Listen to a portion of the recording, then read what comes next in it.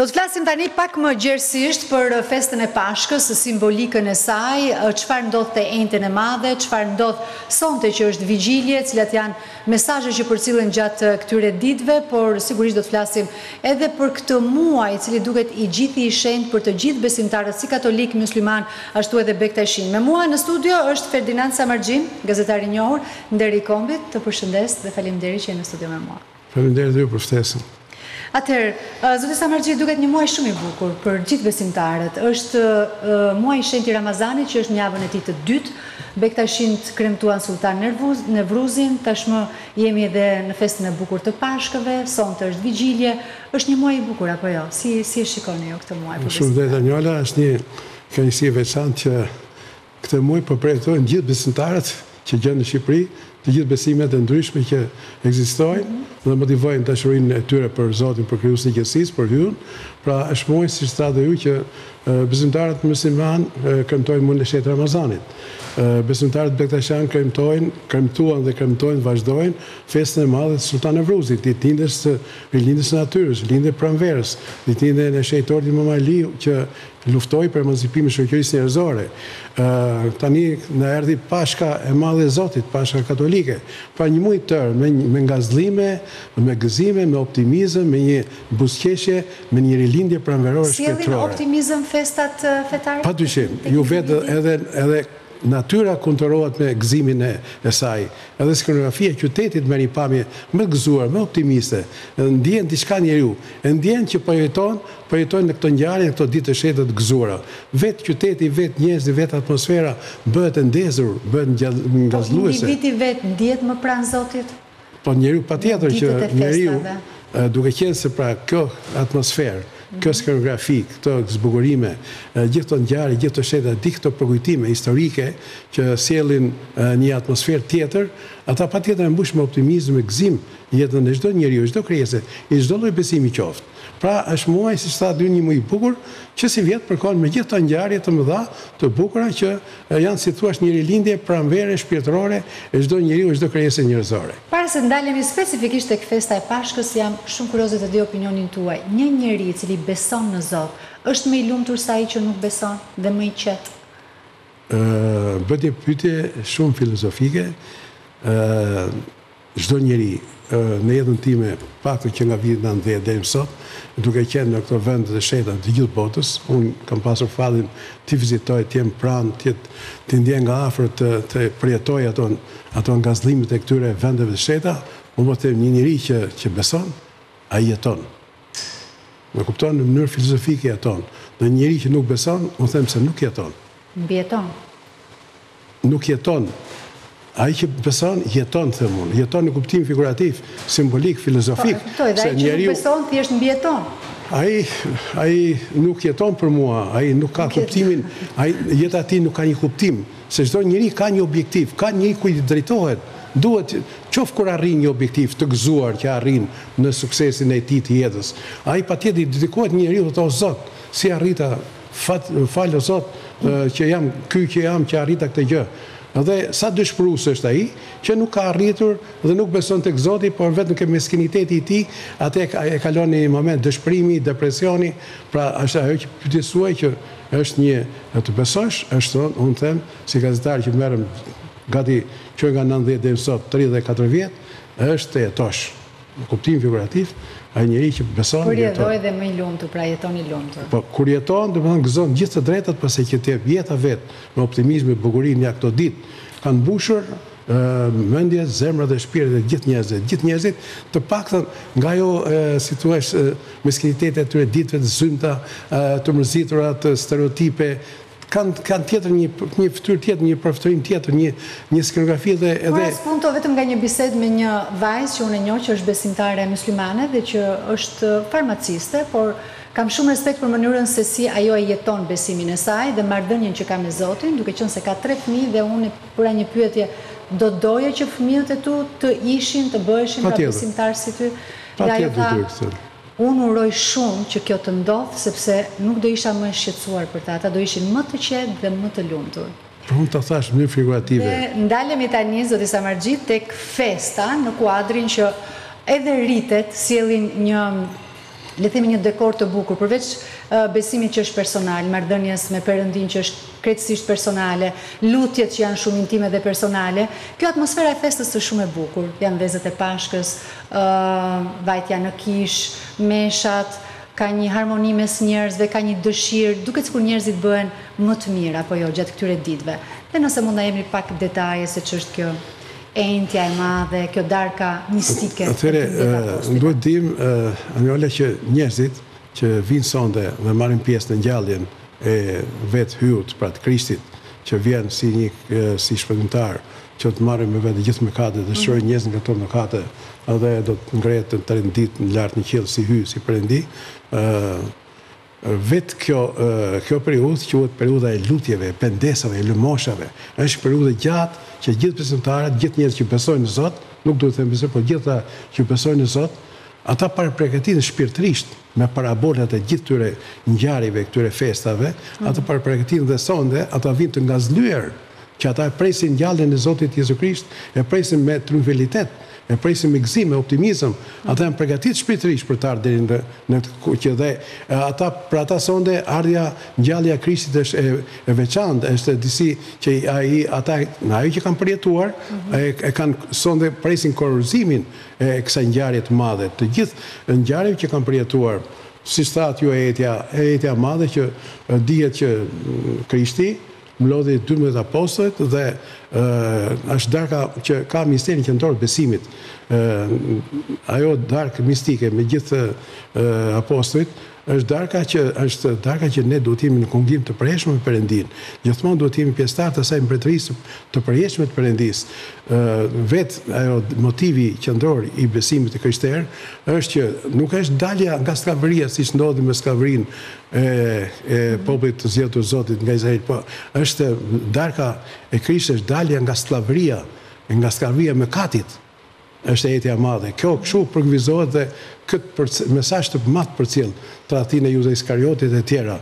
Ë pastaj besimtarët arrijnë pra sonde ë që mas mas ë vet ë të marrin pjesë që pritet Është pritur në Jeruzalem me brohoritjet Osana, Osana i bekuar është ai që vjen në emër të Hyjit, me fjalë bëhet fjalë për hyrjen e Jezusit në Jeruzalem që pritet dhe po ky popull që e priti me brohoritje me Osana i bekuar është që vjen në emër të Hyjit, ky do ta tradhtojë dhe do të gjykojë që edhe pse Ponci Pilat, gjykatësi i kohës, kërkon që të dënojë një tjetër njeri në vend të Jezusit, populli i indoktrinuar nga klerikët e asaj kohe, nga kryepriftërit që nuk e besonin Perëndinë, Jezusin që kishte ardhur si një shpëtimtar i botës dhe kishte treguar vetëm mrekullira të tjera, jo ngjalljen e Shën Lazarit, jo atë shërimin e lebrozëve, jo të bijës Jakob, Ja, Jahirit, pra ata nuk mund ta pranonin ardhjen e Birit të Perëndisë, Jezu Krishtit. Dhe si tillë u dihet që ai me me këto dëshmitarë të rremë, me këto tradhtarë si Juda Iskarioti, ai do të gjykohet. Dhe do të do të gjykohet dhe do të do të gjykohet, do të të varroset, domethënë masi do të gozhdohet në kryq, Ai do të vdesë, do të varroset dhe në tretën ditë ai do të shkojë në qiell, se ishte Zot e Perëndi. Dhe Perëndia vetë e krijoi e çoi Birin e vet të vetëm, Jezusin, për njerëzit dhe i dha natyrë njerëzore, e zbriti mes njerëzit që ai të punojë, të mendojë, të jetojë me gjithë Njerëzit, vullnetmirë të kësaj Galileje të madhe që ekzistojnë gjithë shoqërinë njerëzore, pa përkatësitë njerëzore, me bujq, peshkatarë, të gjithë njerëzit e vullnetmirë të Galilesë së madhe të kombëve. Dhe Jezusi, kryqëzimi i Jezusit, derdhja e gjakut e Jezusit, gjakut të pastër, është shpagimi Që Jezusi mori përsipër gjithë mëkatet e kësaj bote, të krijesës njerëzore, pra të kësaj gjini njerëzore që Ai e krijoi vetë njeriun si krijesë njerëzore, pra të shpagojë, të flijojë gjakun e Tij, gjakun e pastër. Dhe këtu është ajo që ne duhet të marrim pjesë gjithmonë në kryqin, në në në vdekjen për t'u ringjallur. Gjaku i Krishtit ishte një flijim, një shpagim përgjithmonë, një herë përgjithmonë për krijesën e Tij njerëzore. Prandaj ne Duke qenë duhet të marrim pjesë në atë darkën mistike të Perëndisë të përhershme, të përjetshme, që duhet të marrim atë osten që quhet ajo që ne marrim në gojë, që marrim trupin dhe gjakun e Krishtit që thuhet për ndjesën e mëkateve. Pra ne marrim atë përjetim të përjetshëm, atë dashuri të Krishtit që e përjetojmë dhe bëhemi gjithmonë pjesëtarë të asaj mbretëri që nuk vdesim kurrë. Pra vetë ashtu si Krishti, që morën për vete më sipër, e gjakosën, e vranë, e torturuan, e, e, e, e kryqëzuan, derdhi gjakun, ai u bë hero, e, u bë, më falni, u bë he, e, bir Perëndie, u bë e, Zot, e, u, vrgje, u shejtërua prej Virgjëreshës Mari dhe Shpirtit të Shenjtë, mori natyrë njerëzore dhe me këtë vazhdimësi ai fton të gjithë njerëzit, siç thotë vetë, unë jam rruga, jam jeta, jam e vërteta, ai fton në kungim të përhershëm, Dhe ne duhet të jemi patjetër pjesëtarë të kësaj mbretërie të përjetshme, pra të marrim pjesë në atë kungim, në atë drekën e përhershme mistike që të bëhemi të pavdekshëm, se Perëndia nuk e shpiku vdekjen, vdekjen e shpiku mëkati, e shpikëm ne. Ne jemi trashëgimtarë të mëkatit, të Adamit dhe të Evës, që Perëndia ne e shpikëm vdekjen. Atëherë Krishti me gjakun e tij shleu një herë përgjithmonë, flijoi gjakun e tij e shpagoi këtë këtë mëkat. që kri, që bëri vetë krijesën njerëzore njeriun pra, siç Adam dhe Eva, dhe prandaj Krishti quhet Adami i dytë, ai që zbret në hadh dhe thotë, ku je ti o gjëmbi i hadhit, ku je ti, ku është fitoria jote, u munde dhe Krishti u ngjall. Pra, këtu del ajo, si thua, vizi, vetë Misioni i besimit të krishterë që ne duhet të jemi gjithmonë pjesëtarë të kësaj mbretërie, ne duhet të marrim pjesë gjithmonë në kungimin e përhershëm dhe ne duhet të kemi parasysh që Pashka sjell tani një tjetër vizion. Pashka sjell shumë vlera, ka shumë mesazhe. Domethënia e vetë fjalës Pashkë? Vetë fjala Pashkë ka ka kuptimin Kalim, që do të thotë, në kohë, në një moment caktuar të historisë njerëzore, kur populli i zgjedhur i Zotit, siç thuhet në Bibël, populli i Izraelit ishte në zgjedhën e faraonit, Hyu dërgoi Moisiun për ta nxjerrë nga zgjedha dhe siç e dimë me legjendën e Detit Kuq, Me ndodhinë e Detit Kuq, që vetë Moisiu me shkopin thau detin derisa kaloi gjithë populli i Izraelit dhe kur erdhën ushtëritë e faraonit u mbytën të gjitha pasi erdhi deti përsëri, kjo quhet kalim. Pra kaloi populli i Izraelit nga zgjedha në liri dhe kjo quhet kalim Pashkë, kurse Pashka e sotme është tjetër gjë. Ka të bëjë me me fjalë me me një personazh real, historik, siç është Jezusi që ka jetuar mes mes njerëzve, që ka që u bë njeri, që mori natyrë njerëzore, mhm. që fjala u bë mish. Pra, të gjitha këto ai i nxori në jetë për Hyu i i, i dërgoi nëpërmjet Jezusit. Prandaj Pashka sonte sjell një konfiguracion tjetër. Pashka është, si thua, për vetë atë misionin qendror të besimit të krishterë, është filozofia e optimizmit të jetës. Në qoftë se ne do marrim pjesë pra në në kryqëzim, në kryqin do vdesim dhe do ngjallemi, ne do të jemi pjesëtarë gjithmonë të pavdekshëm. Edhe pse e tradhtuam me mëkatin tonë, edhe pse, edhe pse jemi trashëgimtarë të Adamit, të mëkatit të Adamit dhe të A ka Evës. një probabilitet që sonte lutjet tona të dëgjohen dhe të realizohen? Më Patjetër, shumë se sa në z- ditë që nuk jemi në ditë Pashke, në ditë feste? Gjithmonë, e, në qoftë se ne, siç thotë Krishti, do të ndiqni mua, Unë jam rruga e jetë e vërteta jeta juaj do shëlbej shëlbej do të shkëlqej si llambadarët e festës së Pashkëve që do të thotë shpirti njerëzor krijesa njerëzore gjinia njerëzore do të ndriçohet dhe ka ka kuptim të madh final gjithë njerëzimi vetë motivi qendror i besimit të krishterë është triumfi i jetës. Pra ngjallja është triumfi i jetës mbi vdekjen. Ashtu siç Krishti mundi me pushtet mbi vdekjen dhe natyra njerëzore, krijesa njerëzore tani vetë Pashka sjell një vizion tjetër, të pranojmë një realitet tjetër të ri, një një kapërcim final. Pasi Krishti mundi vdekjen, atëherë tek gjinia njerëzore, krijesa njerëzore lind një një përkushtim tjetër hyjnor, që vetë Zoti hyu pra e ka dhënë, që edhe ajo natyrë sado e pak e vështirë që duket në natyrë njerëzore, e pakapërcyeshme. Në momente të vështira, kur vetë gjinia njerëzore, krijesa njerëzore duket e pamundur për ta për ta kapërcyer, Krishti dhuroi fuqi. Ngjallja sonte e tij dhuron fuqi, dhuron shpresë dhe dhe atë që nuk e mendojmë që është e pamundur, Duke pasur besim tek Krijuesi i gjithësisë që Ai mposhti vdekjen, çdo gjë kapërcehet. Dhe, ashtu që thuhet në Psaltet, Ejeni të ngazëllohemi me Zotin. Me Zotin që na ndriçon dhe gjithmonë jam pranë jush, thotë Jezusi. Mos keni frikë. Unë jam gjithmonë pranë jush. Është më shumë një natë kjo e sotmja për të kërkuar që të na falen mëkatet apo për të kërkuar që të realizohen dëshirat që kemi?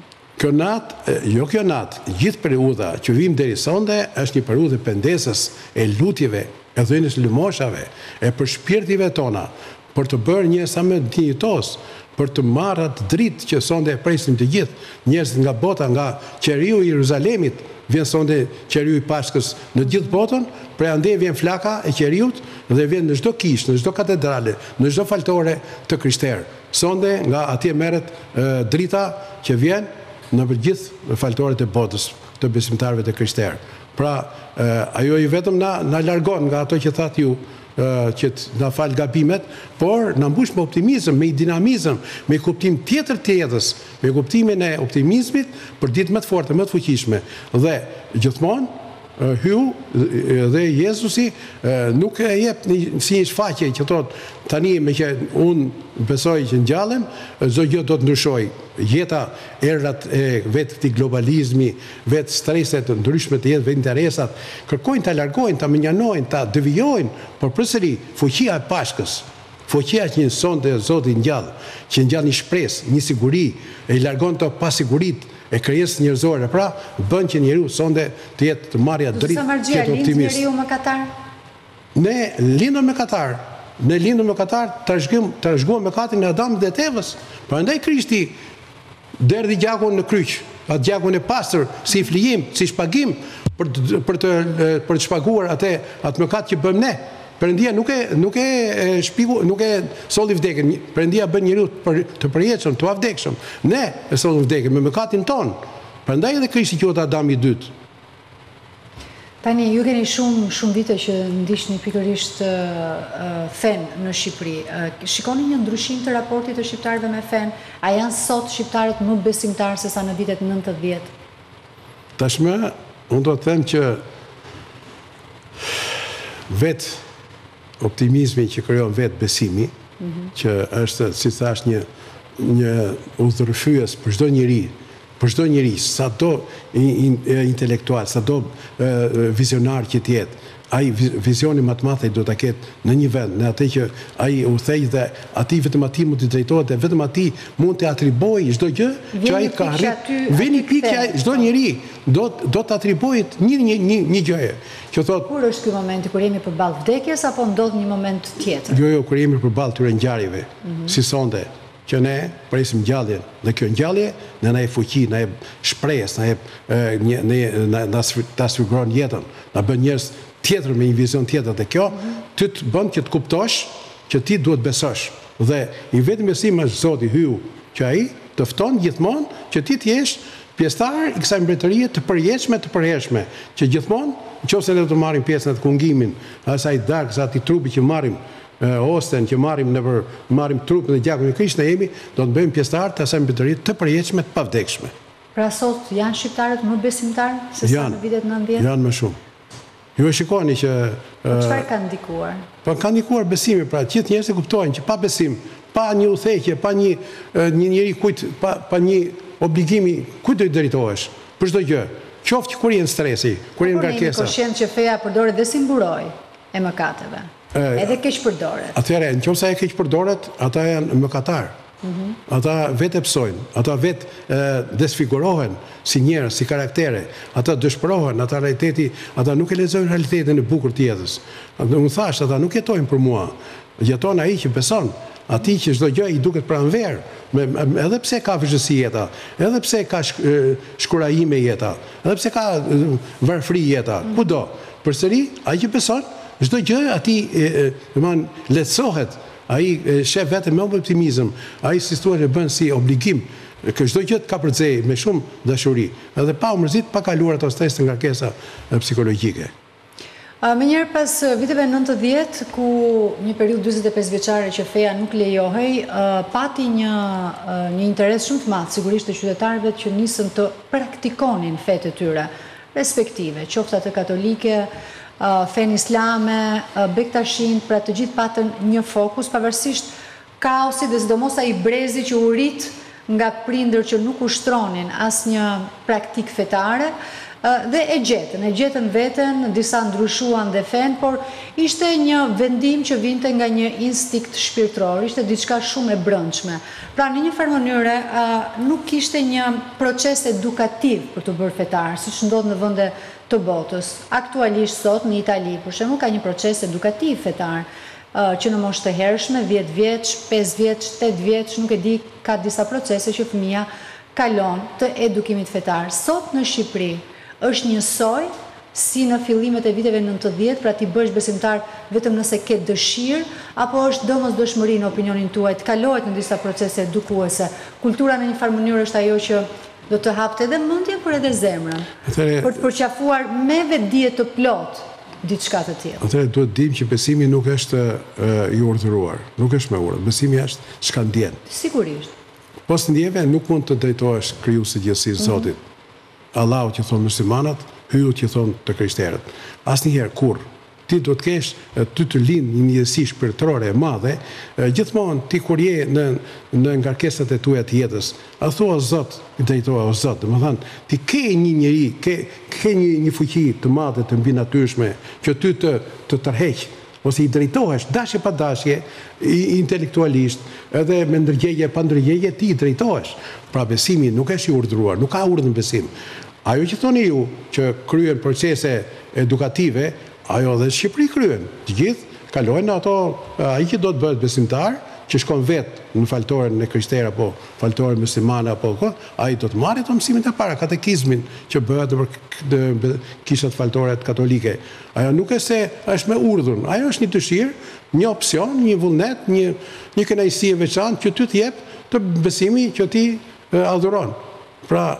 Një ndër pikat që të huajt e shikonin si me habi dhe që ne kemi marrë vëmendje ka qenë fakti i bashkëjetesës fetare në vendin tonë. Pra, se besimtarët qofshin të besimit islam dhe atij të krishterë bashkëjetojnë shumë mirë. Ju kujt ia atribuoni këtë bashkëjetesë fetare? Një lloj mungese dyzet e pesë vjeçare, injorancës apo vërtet besimit në mënyrën më sublime të mundshme që shqiptarët e përjetojnë? Atëherë unë do të them që është ajo fjala e dytë që thatë ju që besimi më sublim që ka njeriu ndaj Krijuesit të gjithësisë.